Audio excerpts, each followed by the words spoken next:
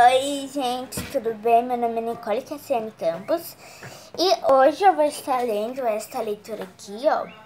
Minha Cama. O autor é o Sérgio Caparelli.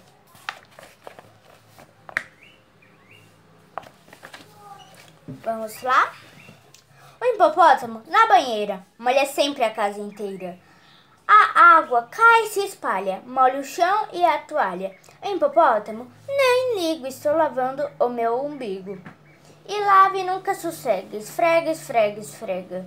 A orelha, o peito, o nariz, as costas, as mãos e diz: Agora vou dormir na lama, pois lá é a minha cama.